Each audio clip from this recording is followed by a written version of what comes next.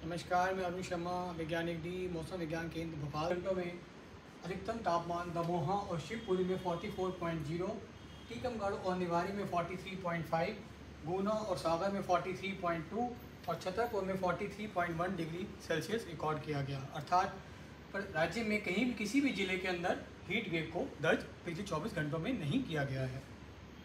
Warm night की बात करेंगे तो पिछले 24 घंटों में कोई भी वार्म नाइट राज्य में रिपोर्ट नहीं हुआ है।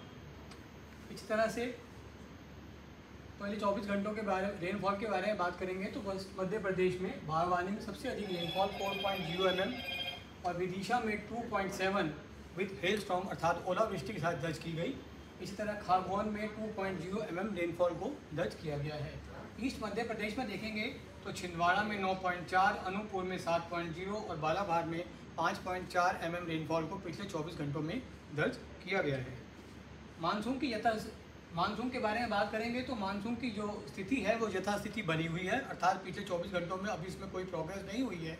लेकिन आगे आने वाले तीन चार दिनों के दौरान मध्य अरब सागर के कुछ और हिस्सों में महाराष्ट्र के कुछ और हिस्सों में मुंबई समेत और तेलंगाना तटीय आंध्र प्रदेश के शेष हिस्सों में दक्षिण छत्तीसगढ़ और दक्षिण उड़ीसा के कुछ हिस्सों और बाकी जो है उत्तर पश्चिम बंगाल की खाड़ी के कुछ हिस्सों में आगे बढ़ने की संभावना अनुकूल स्थिति बनी हुई है।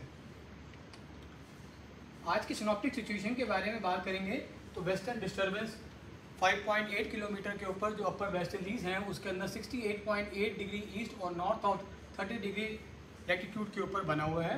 उसी तरह से जो साइक्लॉनिक सर्कुलेशन कल साउथ वेस्ट राजस्थान के ऊपर था, आज वो सौराष्ट्र और आसपास के इलाकों में 1.5 किलोमीटर पर देखा जा सकता है। जो नॉर्थ वेस्ट एमपी के ऊपर कल जो साइक्लॉनिक सर्कुलेशन था, आज वो 0.9 kilometre above mean the seven के ऊपर देखा जा सकता है। ठीक? तो जो light yellow colour light green colour के अंदर जो ज़िले दिख रहे हैं, उसके अंदर अलग थलग स्थानों पर वर्षा दर्ज की जाएगी।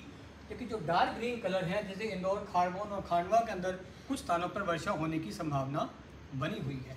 इसी तरह से जो ऑरेंज कलर के अंदर वार्निंग में धार, इंदौर, देवास, खांडवा और हरदा और बैतूल जैसे जो ज़िले हैं, उनके अंदर थंडरस्टॉर्म लाइटनिंग और gusty wind with 50 to 60 kilometre और साथ में ओलावृष्टि होने के भी चांस हैं। बाकी जिलों में जहाँ येलो येलो कलर दिया गया है, वहाँ पे थंडरस्टॉर्म लाइटनिंग और gusty wind with 40 to 50 kilometre होने की जो है वो कल संभावना बनी रहेगी। साथ ही निवाड़ी और छतरपुर जैसे जिलों में टेम्परेचर में थोड़ी सी बढ़ोतरी होकर 45 डिग्री के आसपास टेम्परेचर रहने की कल उम्मीद है। डे थ्री की बात करेंगे, अर्थात नौ तारीख की तो जो लाख जो कुछ कुछ स्थानों पर जो वर्षा वृद्धि थी वो बढ़ेगी और बडवानी खारगोन खंडवा, बैतूल और बुरहानपुर के अंदर, जिलों के अंदर कुछ स्थानों पर वर्षा होगी। और बाकी जो आप लाइट ग्रीन कलर के अंदर जो देख रहे हैं ज़िले उसके अंदर अलग थलग स्थानों पे जो है वो वर्षा दर्ज होने की संभावना है। लेकिन जो एक्सट्रीम नॉर्थ ईस्ट पार्ट है, हमारे मध्य प्रदेश का, वहाँ पे मौसम मेनली ड्राई रहेगा।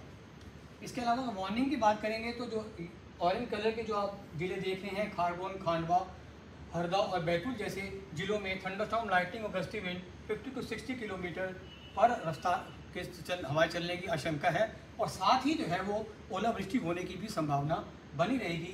बाकी जिलों में जो है वो थंडरस्टॉर्म लाइटिंग वृष्टि विंड विद 40 टू 50 किलोमीटर पर होने की संभावना 9 तारीख को जताई जा रही है। इसके अलावा जो हीट वेव जो है, वो डे थ्री से जो है उसका प्रकोप थोड़ा बढ़ेगा और वो बाकी जिलों जैसे सतना, रेवा मकाऊगंज सिद्धि सिंगरौली में भी टेम्परेचर बढ़कर 45 डिग्री के आसपास रहने की संभावना बनी हुई है।